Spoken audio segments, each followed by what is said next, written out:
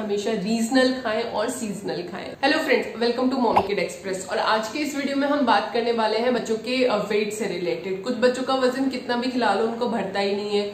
और बहुत सारे रीजन होते हैं जिनके कारण बच्चों का वज़न नहीं बढ़ता और हम लोग काफ़ी चिंता करते रहते हैं कि बच्चों का वज़न क्यों नहीं बढ़ रहा। तो इस वीडियो में हम लोग बात करने वाले हैं कि बच्चों का वज़न क्यों नहीं बढ़ता है क्या क्या प्रॉब्लम हो सकती है, और आप क्या करें कि जिससे आपके बच्चे का वज़न एक सही तरीके से बढ़े, ना बहुत ज़्यादा मोटा हो और ना ही बहुत ज़्यादा पतला हो। चलिए वीडियो स्टार्ट करते हैं। अगर बच्चा छह महीने से छोटा है तो मे बी आप उसको ब्रेस्ट मिल्क प्रॉपर तरीके से नहीं पिला रहे हो। लाइक ज़्यादा गैप हो रहा है या बच्चा एक बार में पेट भर के नहीं पी रहा है या फॉर्मूला मिल्क भी। और छह महीने के बाद में आप या तो उसको सिर्फ़ दूध के ऊपर ही रख रहे हो, उसको नहीं और कुछ खिला रहे हो। और खिलाने के साथ साथ आपकी फ्रीक्वेंसी कितनी है, आप कितना पोर्शन बच्चे को दे रहे हो, आप बच्चे को क्या क्या खिला रहे हो। तो वज़न इन सारी चीज़ों पे डिपेंड करता है। तो देखिए, सबसे पहली जो चीज़ मैंने आपको बताया, जो कॉमन है कि आप बच्चे की ईटिंग हैबिट को अच्छे से इंप्रूव करें। बच्चे का हो सकता है बहुत ज़्यादा गैप हो रहा हो बच्चे की एक मील से दूसरे मील में। ये मोस्ट कॉमन प्रॉब्लम होती है।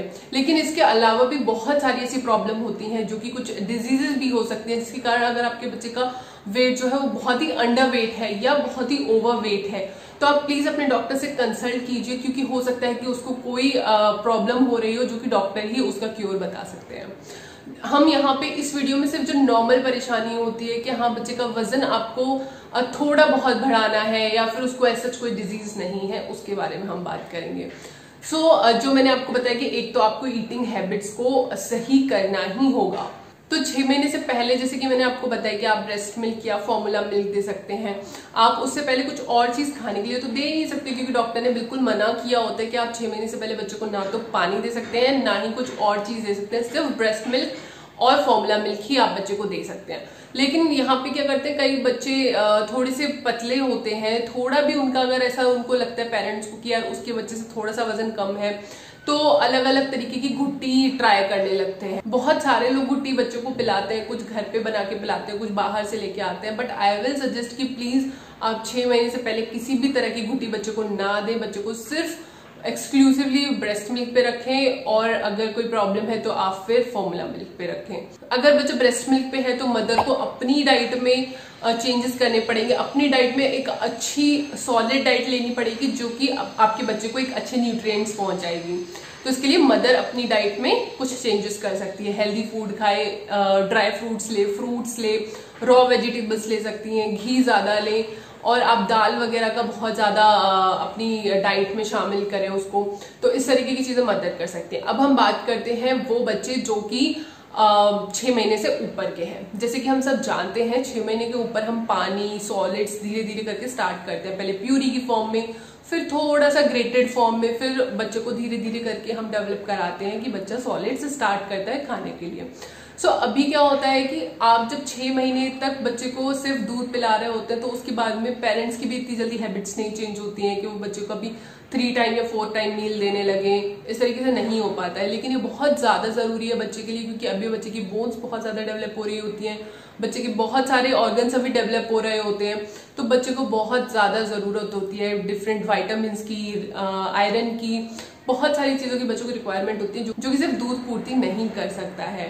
सो इसके लिए आप एक प्रॉपर लाइक फ्रूट्स भी बच्चे की डाइट में होने चाहिए, दाल भी बच्चे की डाइट में होने चाहिए और ग्रेन्स भी बच्चे की डाइट में होने चाहिए। अब जब बच्चा पैदा होता है, उसके बाद में आप रेगुलर चेकअप्स के लिए, जैसे डॉक्टर के पास जाते हैं तो आपको हर बार बच्चे का वज़न कुछ कुछ कुछ कुछ 500 ग्राम, एक किलो ऐसे करके बढ़ा हुआ दिखता है।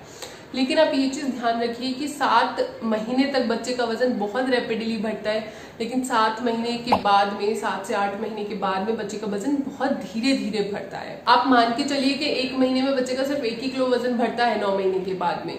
वो इसलिए होता है क्योंकि जब बच्चा क्रॉल करने लगता है डिफरेंट डिफरेंट एक्टिविटीज़ करने लगता है बेड पे इधर से उधर घूमना स्टार्ट कर देता है खेलने लगता है टॉयज से तो इन सब में क्या होता है, बच्चे की बहुत ज़्यादा कैलोरीज बर्न होती हैं, जिसके कारण बच्चा वेट गेन इतनी जल्दी नहीं करता जैसे कि वो पहले कर रहा होता है। तो अगर आपके बच्चे का वेट इतनी जल्दी गेन नहीं हो रहा है सात महीने के बाद से तो आप बिल्कुल निश्चिंत हो जाइए, इसमें कोई परेशानी वाली बात नहीं है, ये सभी बच्चों के साथ में होता है। बस आपको एक चीज़ ध्यान रखनी है कि जब बच्चा एक साल का होता है तो जब वो पैदा हुआ हुआ होता है ना, उसका वज़न जो होता है पैदा होने के टाइम पे, उसका ट्रिपल वज़न होना चाहिए जब वो एक साल का है। मान के चलिए कि आपका बच्चा जब पैदा हुआ था, तब वो तीन किलो का था तो जब बच्चा एक साल का होगा तो उसका वज़न नौ किलो के ही आसपास होना चाहिए। वो एक एक रफ आइडिया है कि आपके बच्चे का ये वेट बिल्कुल आइडियल चल रहा है। ना ही बहुत ओवर वेट है, ना ही बहुत अंडर वेट है तो आप इस चीज़ का ध्यान रखिए। एक जो बहुत ही इंपॉर्टेंट चीज़ है, हम इस चीज़ को भी अगर रिलेट नहीं कर पाते, हमें पता होता है कि बच्चे के लिए मसाजेस कितनी इंपॉर्टेंट होती हैं। लेकिन हमें नहीं पता होता कि मसाजेस किन किन चीज़ों में फ़ायदा करती है। बच्चे के वेट गेन में भी मसाज फ़ायदा करती है। बच्चे को गैस से रिलीफ दिलाने में भी मसाज काम करती है। तो इसके लिए मसाज बिल्कुल स्किप ना करें। मसाज ज़रूर बच्चे को दे। मसाज से बच्चे की डाइट भी बढ़ती है, बच्चे की बॉडी की स्ट्रेंथ भी बढ़ती है। उसके कारण क्या होगा? बच्चे का वज़न भी बढ़ेगा और हेल्दी वेट गेन करेगा बच्चा। तो इसके लिए आप मसाजेस रेगुलरली दीजिए।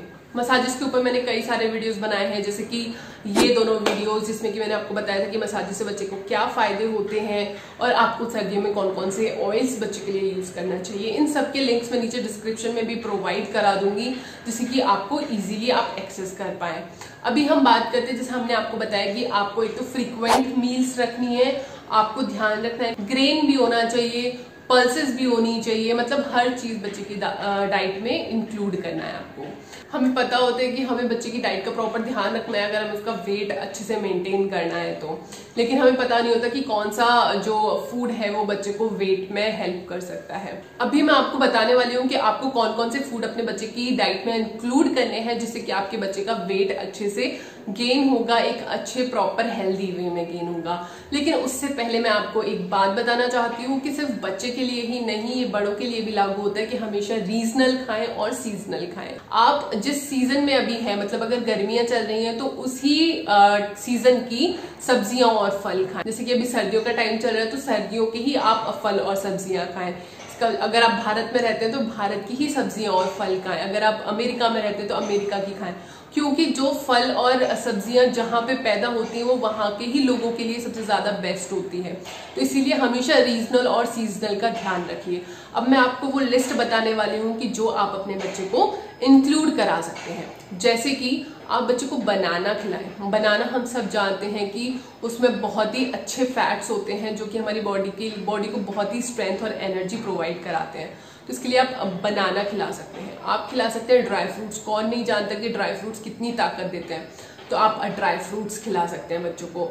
एक साल तक तो आपको बहुत ही अच्छे से फाइन पाउडर बना के ही बच्चे को खिलाना पड़ेगा अदरवाइज़ बच्चे नहीं उसको बाइट कर पाते हैं या उसको च्यू नहीं कर पाते हैं तो बच्चों को कई बार उल्टी भी हो जाती है। तो इसके चक्कर में आपको हमेशा पाउडर बना के ही खिलाना चाहिए। मैं एक जल्दी वीडियो लेके आने वाली हूँ ड्राई फ्रूट्स और प्रून के ऊपर प्रून जैसे कि मैंने आपको कई वीडियोस में बताया, बच्चे की कॉन्स्टिपेशन के लिए बहुत हेल्पफुल होता है। तो उस वीडियो में मैं बाकी के ड्राई फ्रूट्स और प्रून को किस तरह आपको बच्चे को खिलाना है वो मैं बताऊँगी। तो आप प्लीज़ सब्सक्राइब ज़रूर कीजिए चैनल को। बहुत सारी आ, अच्छी इन्फॉर्मेशन के साथ में मैं वीडियोस लेकर के आती हूँ। आप बच्चे को रागी खिलाएँ। रागी बहुत ही सारे अलग अलग तरह से बच्चों को बड़ों को बहुत ही हेल्पफुल रहता है। हमारे घर में बड़े लोग भी रागी की चपाती खाते हैं। तो इसके लिए बच्चों की डाइट में भी आप रागी पॉरेज दे सकते हैं। रागी पॉरेज का भी वीडियो मैं बहुत जल्दी लेके आने वाली हूँ। और रागी के सैरेलेक भी मार्केट में मिलते हैं बट आप घर की चीज़ें प्रेफर करें तो ज़्यादा बेटर होगा। आप उसके साथ में बच्चे को दलिया दे सकते हैं। जैसे कि मैंने आपको बोला कि आपको बच्चे को ग्रेन्स भी खिलाने हैं तो आप चपाती तो अभी खिला नहीं सकते हो बच्चों को। तो आप दलिया खिला सकते हो। दलिया को भी बना करके थोड़ा सा आपने ग्राइंड कर लेना है, जिससे कि बच्चा आराम से उसको खा सके। क्योंकि जो थोड़े थोड़े से जब बच्चे के मुँह में अगर दाने पार्टिकल्स आते हैं ना तो वो बच्चा उसको उल्टी कर देता है। वो जितना भी उसने खाया हुआ होता है, वो भी निकाल देता है। इसके लिए ग्राइंड ज़रूर कर लीजिएगा।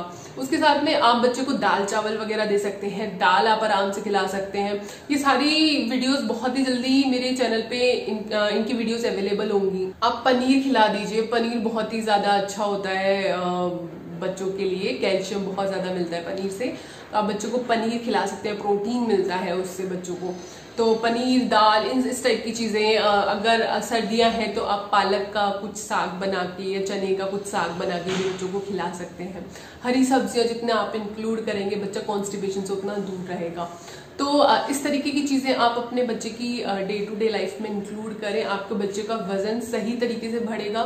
लेकिन अगर आपको कुछ भी लगता है कि आपके बच्चे का बहुत जल्दी सडन वेट गेन हुआ है, उसने या ड्रॉप किया है तो आप प्लीज़ अपने डॉक्टर को ज़रूर सो आई होप कि ये वीडियो आपके लिए हेल्पफुल होगी। अगर हेल्पफुल है तो इस वीडियो को लाइक और मेरे चैनल को सब्सक्राइब ज़रूर कीजिएगा। तो चलिए मिलते हैं नेक्स्ट वीडियो में।